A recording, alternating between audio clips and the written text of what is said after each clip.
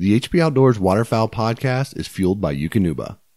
If you want to get the most of your dog in your training sessions, you need nutrition that holds nothing back. Eukanuba's new premium performance lineup is built with the nutrients dogs need to help unleash their max potential. That starts with providing energy that matches their efforts, supporting optimal nutrient delivery, and supporting post exercise recovery. Check out the new Eukanuba Premium Performance lineup and find your dog's fuel at eukanubasportingdogs.com. You are listening to the HP Outdoors Waterfowl Podcast.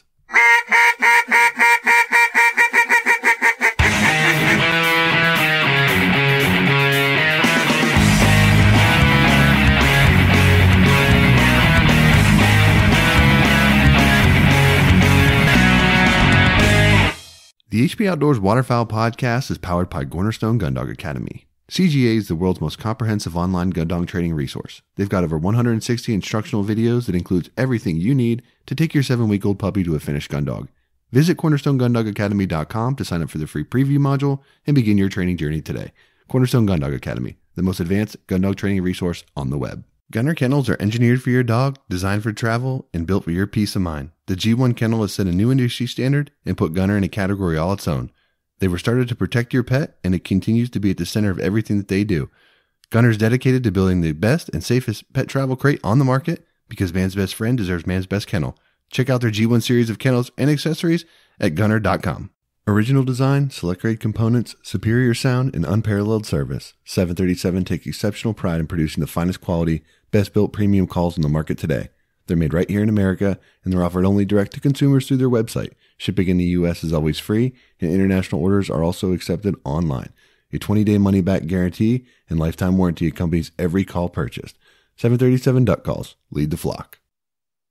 All right, here we are. Lesson five, shooting lanes of module number two here on the HP Outdoors Foundations of Waterfowl Hunting course. Shooting lanes is something that it's important for multiple reasons.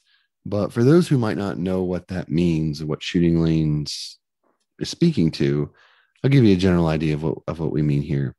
So each member of the hunting party in the blind, so whether you're in a pit blind or layout blinds or boat blind, whatever your your your blind is in, and however many are in your hunting party, whether that's three or two or eight, right? However large your party is and whatever blind setup you have, each member of the party will have a sector in front of them that they're responsible for shooting. So um, basically, you know, it's it's a reasonable uh, width in front of you that accounts for people on your left and your right. So obviously, the person beside you is going to have a sector that they're going to be responsible for you, and so on and so forth. One thing you want to consider when you're picking your spots in the blind is if you got any left-handed shooters, it's always best to at least have one of them on the end of the blind on the right side. Reason why that's important is because as they shoulder their gun, it's a more natural swing for them to be able to cover that far end of the blind, that far right side as they swing from left to right, uh, because their shotgun naturally mounts a little more uh, conducive to that sort of movement. So it's easier for them to make that swing, less uh, less contorting on the body, and less likely that they'll inadvertently misfire their gun or something of that nature. Uh, one thing you'll also want to do is that you want to make sure that when this shot is called, to the best of your ability, you do it where the most amount of birds are covering the most amount of shooting sectors. And what I mean by that is if you have a group of birds working your blind location and they're finishing in your decoys from left to right, you don't want to call the shot when that lead bird gets into the hole. You want to call the shot when there's birds in in the sectors of all the people in the blind. So uh, the far end has birds in their sector, and then the far other end has birds in their sector, if at all possible. It's it's tough to do, but the more sectors you can cover, the better off you will be when that shot is called.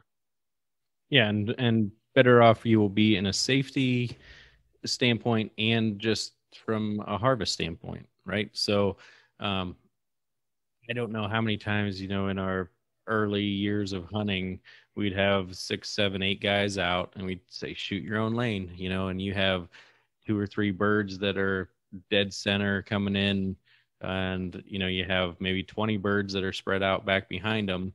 And, and all eight guns shoot those first three birds instead of people shooting off to the right and off to the left depending where they're at. So if you shoot your own lanes and the birds no matter how far out they are i'm not saying to sky bust but once they get into those good ranges you just have a better harvest. You know you're going to drop more birds than everyone just shooting into the middle. Um, this also prevents unsafe shooting across people's faces over their heads blown out eardrums. You you always have that when you know there might be one bird left and someone gets antsy to to take a crack shot at something and and it's just not safe. And we see it um, every every year. It seems like someone will post up a picture of a gun that you know someone was shooting their lane and then the person to their left was shooting towards a bird on that person's right. And you know they blow off the end of a barrel and you see it over and over and over and um, thankfully we haven't had that happen. It's been close a few times uh, but that causes some big issues in the field. Also you know something to check out if you have a, a main hunting group that you go out with.